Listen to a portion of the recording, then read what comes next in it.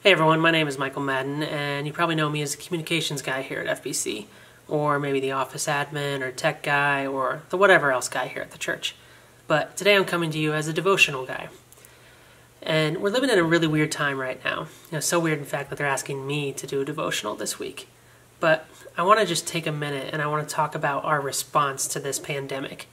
Because while we're all experiencing the same pandemic, I think we can admit that we're not all having the same experiences.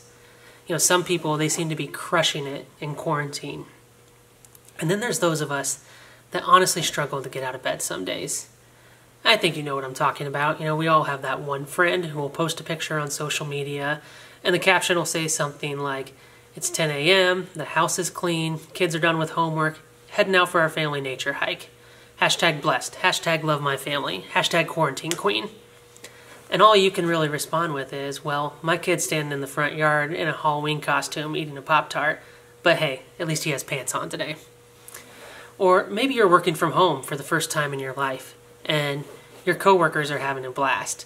They're sharing memes back and forth, they're changing their Zoom backgrounds to funny pictures, and you're struggling just to get your audio connected so you can be part of the weekly conference call. And you start to feel inferior and inadequate and it's not a good feeling. And I know this because I've been there before too. You know, this comparison game that we play, it's not unique to this crisis. We've all found ourselves there once or twice. You know, we see somebody who seems to be doing a better job at parenting than we are.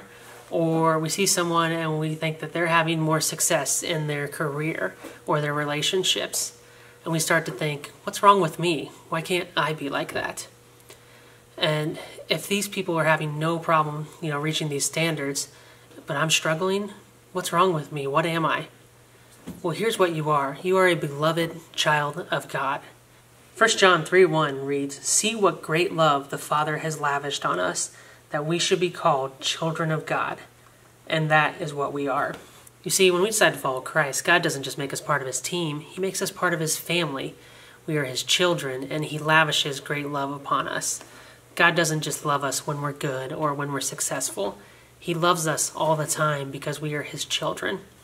Find your identity in that as a child of God. You don't have to be the quarantine queen. You don't have to be the best work from home employee. You don't even have to get out of your pajamas today if that's too much of a challenge. This is a tough time, and if you're struggling with it, that's okay. You don't have to have the same experiences as other people. You don't have to respond to this pandemic in the same way. Fight the urge to play that comparison game. Know that you are enough even when you don't feel like it.